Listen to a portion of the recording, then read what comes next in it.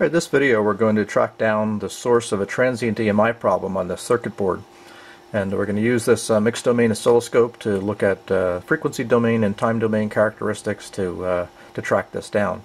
I'm also using this little uh, near field probe. This one happens to be by a company called Beehive Electronics, model 100C. A uh, really nice little near field probe that allows you to look at the near field emissions uh, that are going on on a circuit board by just hovering over various areas of the board. You notice if I hover over the switching power supply over here, I can see some of the harmonic uh, generation from uh, the switching power supply there.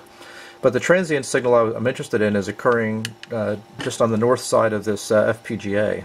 And if I lay the probe right in here just right, okay, you can see this uh, signal right here uh, at you know about 137 megahertz. That's popping up every once in a while, about 10 or 15 dB. Okay, that could be a really tough thing to track down you know, it might be one of those things that causes you every once in a while to fail an EMI test. But uh, what we can do is, since we're really tightly, tightly coupled to it, the likelihood is that we'll be able to use the uh, RF power trigger on the spectrum analyzer to trigger when that occurs so we can start to isolate that.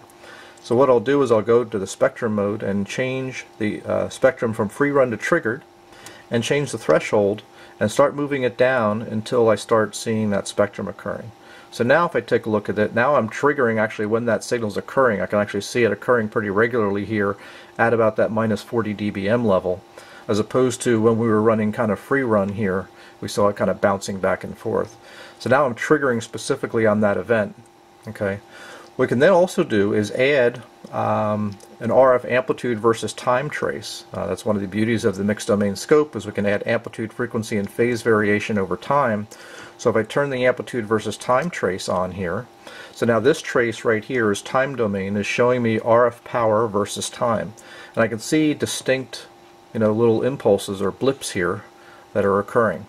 If I do a single capture here real quick, we can go take a look to see is this blip indeed this signal here at 137 megahertz. Where the spect where we're looking at the spectrum right here, it's at minus 40 minus 40 or so dBm.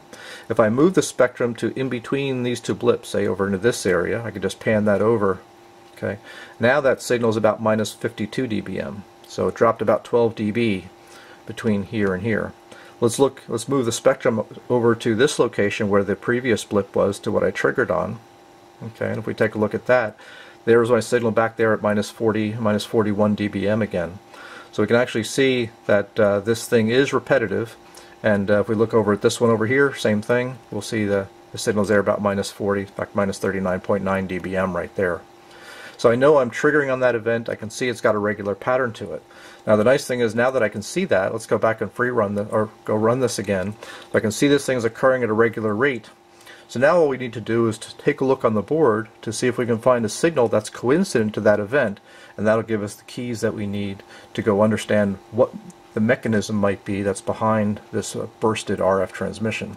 So I'll add uh, channel 1 and uh, just take my probe here and you know it's very easy for me to go around and probe various areas on this board if I probe this header over here okay I can see you know a signal there that is kind of somewhat random and uh, not at all coincident to that particular event.